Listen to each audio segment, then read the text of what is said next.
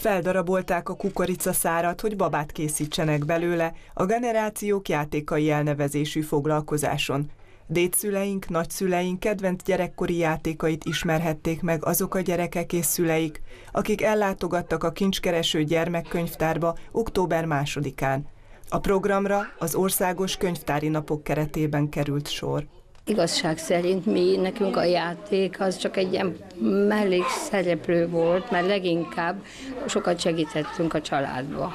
És ha volt egy kis szabadidőnk, akkor együtt az unokatesókkal, utcabeli gyerekekkel jókat bandáztunk, idézőjelbe a bandázást, mert jókat fogocskáztunk, bolyocskáztunk, télen hógolyoztunk, szánkoztunk, embert építettünk, de nagyon nagy szerepet játszott az életünkben, mikor a, volt a kukoricaszedés, és akkor felhasználhattuk a kukorica szárat, nem csak tüzelni, hanem abból babát készíthettünk, a lányok, a fiúk meg lovas szekeret, ökrös szekeret, kis ökröket. Népszerű játék volt a foglalkozáson a búgattyú, amelyet a szervezők egy gomb és célna segítségével mutattak be a jelenlévőknek. Érezni kell, mikor megáll, és újból visszafelé jön. A gyerekek a foglalkozás során megfoghatták a kukoricaszárat, a csöves kukoricát, amit le is morzsolhattak, megtapasztalva azt is, hogy ez nem volt egyszerű feladat.